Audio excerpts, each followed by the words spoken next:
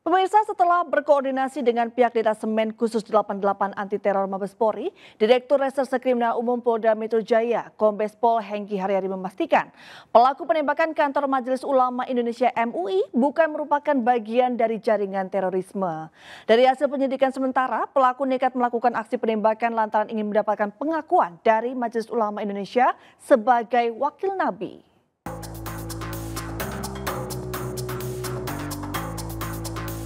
Polda Metro Jaya terus melakukan penyelidikan mendalam pasca insiden penembakan yang terjadi di kantor Majelis Ulama Indonesia Jalan Proklamasi, Menteng, Jakarta Pusat. Selain melakukan olah tempat kejadian perkara, polisi juga berkoordinasi langsung dengan Detasemen Khusus 88 Anti Teror Mabes Polri. Dari hasil koordinasi yang dilakukan, Direktur Reserse Kriminal Umum Polda Metro Jaya, Kombes Pol Hengki Haryadi memastikan Pelaku penembakan kantor MUI bukan merupakan bagian dari jaringan terorisme, serta bukan wujud dari teror dan terkooptasi dengan ideologi agama yang ekstrim. Pelaku nekat melakukan aksi penembakan lantaran ingin mendapatkan pengakuan dari Majelis Ulama Indonesia sebagai wakil Nabi.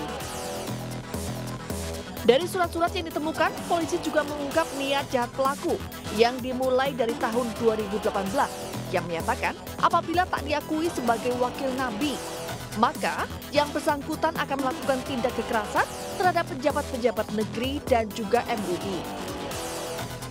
Tadi kami sudah berkoordinasi dengan Detasmen Khusus 88 hasil penyelidikan Densus bahwa tersangka ini tidak termasuk dalam jaringan teror.